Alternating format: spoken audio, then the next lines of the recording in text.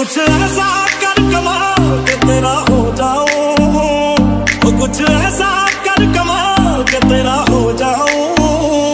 मैं किसी और का फ़िलहाल, मैं किसी और का फ़िलहाल के तेरा हो जाऊँ। मैं किसी और का फ़िलहाल के